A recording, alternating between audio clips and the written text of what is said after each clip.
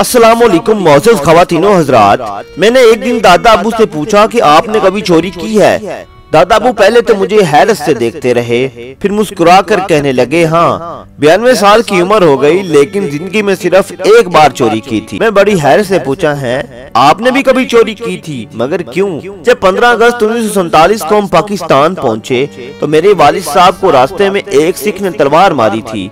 वो शदीद जख्मी थे। हम क्योंकि खाली हाथ यहाँ पर आए थे। हमारे पास कोई साजो सामान नहीं था। हम सबको एक घर में ज़मीन पर सो रहे थे।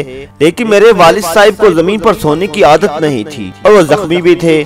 मैं रात को बाहर चार पाई की तलाश में निकल गया।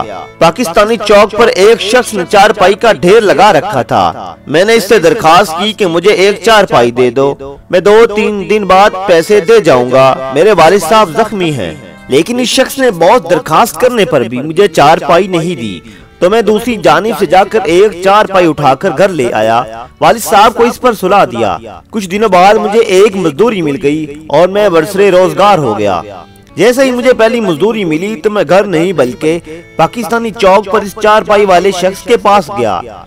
उसे सब कुछ बताकर सबसे पहले माफ़ी तलब की। और इससे चार पाई की रकम अदा की। वो शख्स पैसे लेने से इनकार करने लगा।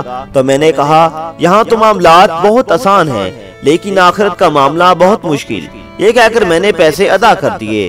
वो शख्स कहने लगा मैं हैरान हूँ कि आपको एक चार पाई की इतनी फ़िक्र है जबकि मैंने तो वो सब इन लोगों के घरों से जमा की थी जो यहाँ से हिजरत करके गए थे। तो मुझे माफ़ी कैसे मिलेगी?